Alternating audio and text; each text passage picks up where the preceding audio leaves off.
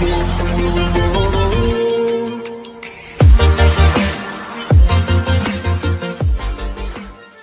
friends in this video today we will study uh, design of helical gear okay so begin with the question a pair of a pair of parallel helical gear consists of 20 teeth uh, pinion meshing with 100 teeth gear the pinion rotates at 720 rpm the normal pressure angle is 20 degree while the helix angle is 25 degree.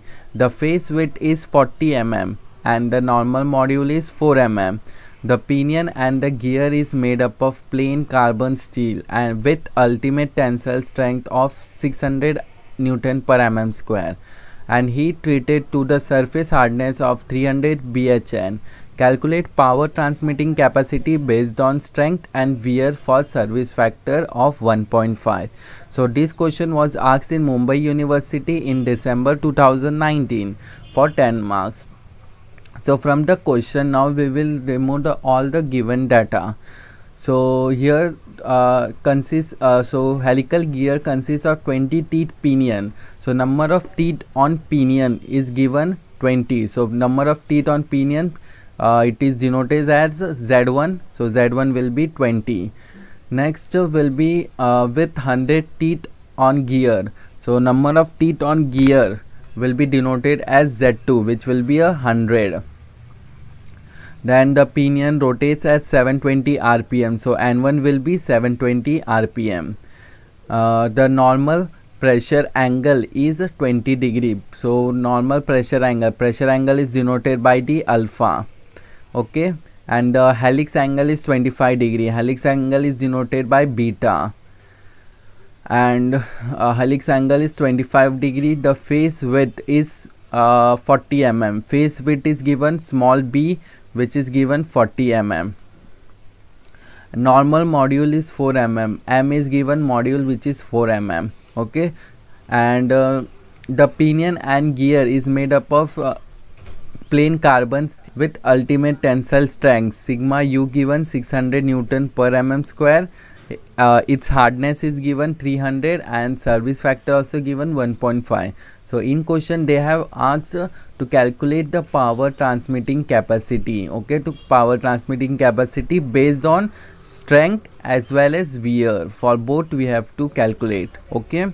So let's begin with the step 1 so as we have z1 and z2 number of teeth on gear as well as number of teeth on uh, pinion both value we have. So by this uh, we can remove the reduction ratio. So formula for reduction ratio is i is equal to z2 by z1 so z2 is 100 and z1 is 20 so our reduction ratio will be 5 okay so moving to the step number 2 step number 2 is Lewis form factor based on virtual number of teeth on all equivalent tooth so in this step we will remove Lewis form factor for pinion as well as for gear. For pinion Lewis form factor is denoted by y1 and for gear y2 okay.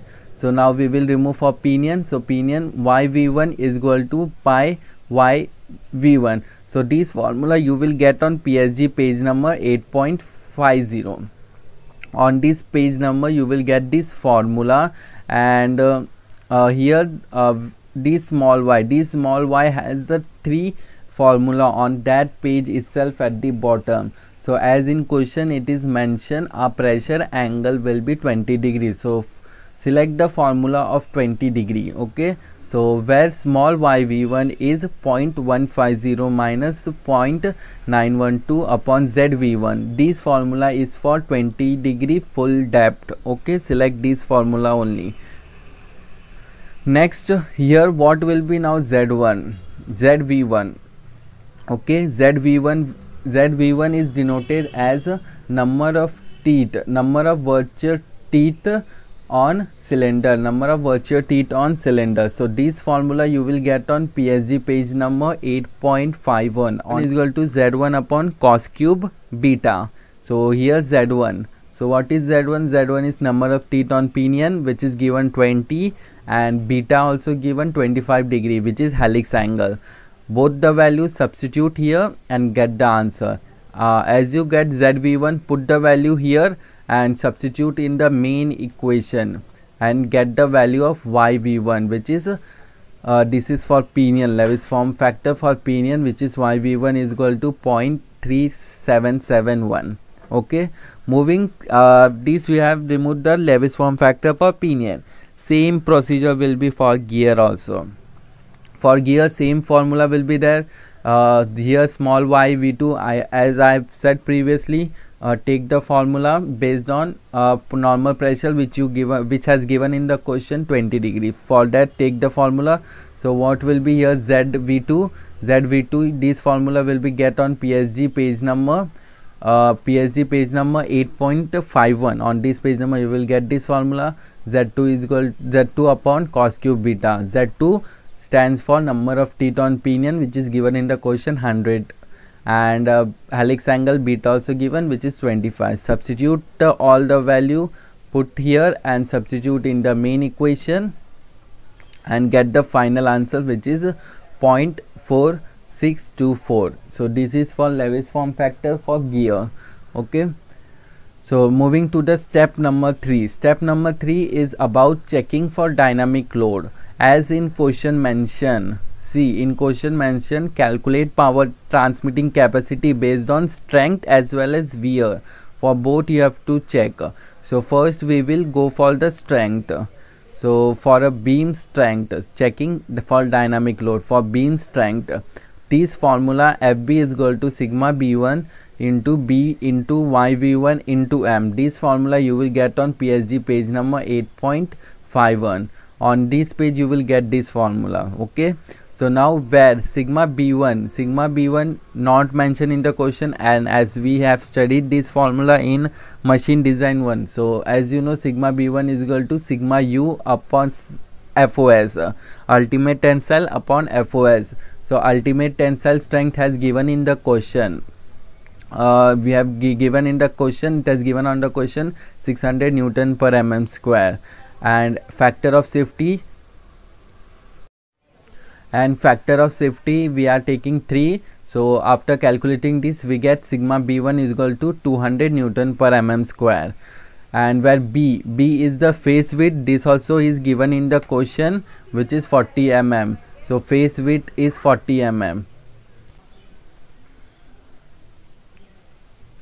Okay face width is 20 40 mm next goes to yv1 yv1 is the lewis form factor for pinion. Lewis form factor for pinion which we have removed 0.3771 so which will be 0.3771 next is m. Small m given in the question which is module uh, the value for module is 4 which is given in the question. As we get all the values substitute the value in this equation in this equation substitute all the value and get the value of fb which is beam strength. So fb is equal to 12067.2 newton. We get the value of beam strength okay? So moving to the next. Now using Barth method या velocity method. So by this method uh, fd is equal to ft into cv this formula you will get on psg page number 8.50 okay on this page number you will get this formula so here ft is unknown and cv is also unknown as well as fd also unknown.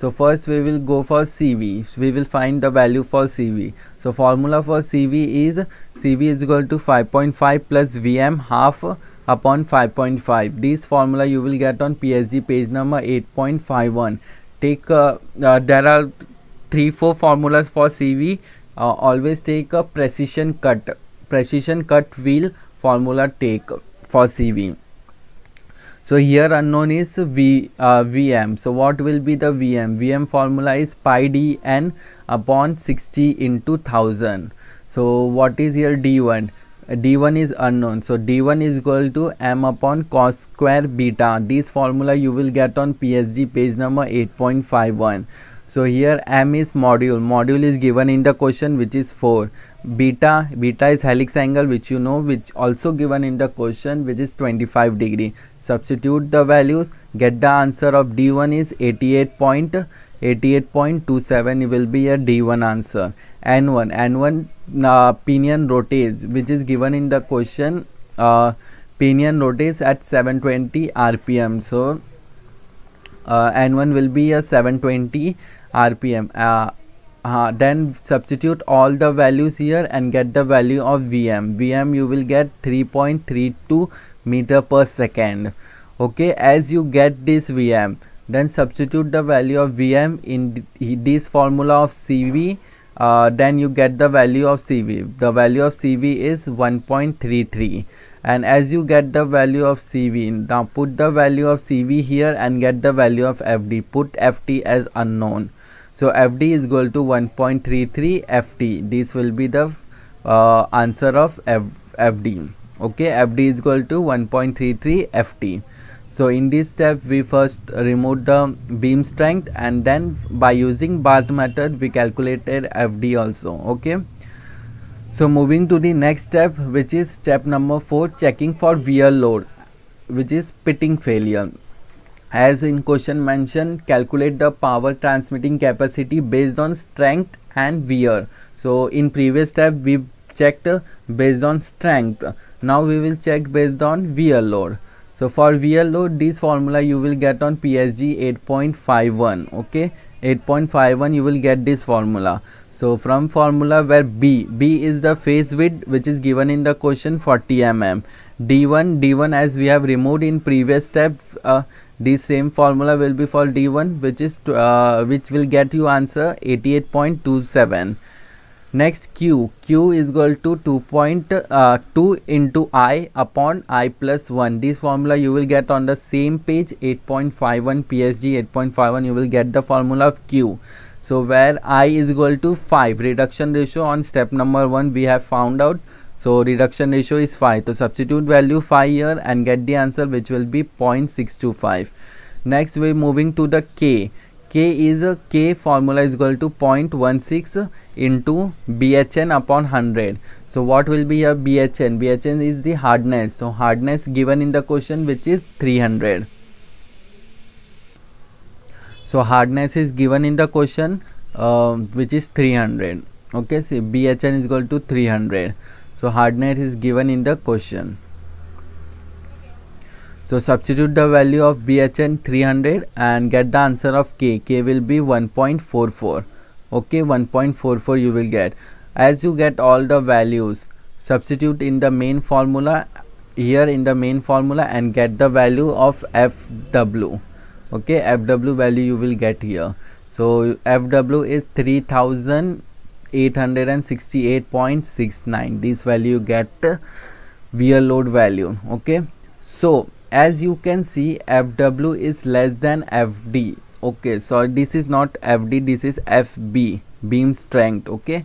Fb so you as you can see fw is less than fb see fw we got 3868 and fb is 12000 so 12000 is bigger so fb is bigger and this f uh, this fw is less. So fw is less than wear is less than beam strength gear pair is weaker in pitting and hence it should be redesigned to for safety against pitting failure. In order to avoid pitting failure fw is equal to sf into fd sf stands for service factor into fd so fw wear load we got here. Put this value as it is equal to sf service factor given in the question. Uh, service factor is 1.5 okay? Given in the question. So we will take that value 1.5 so service factor will be 1.5 and fd fd we have removed here. Fd is equal to 1.33 ft put the value 1.33 ft after putting all the values subs, uh, calculate it and you will get the value of ft okay? You will get the value of ft ft will be 1937.73 newton. You get the ft okay?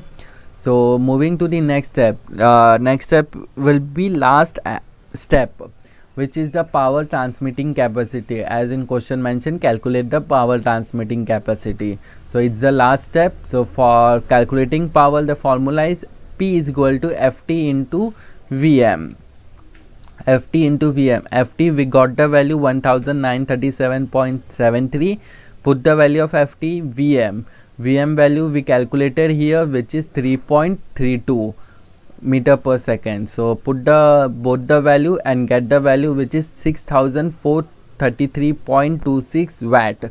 Convert it into kilowatt by dividing it 1000 so you will get the final answer of power is 6.43 kilowatt.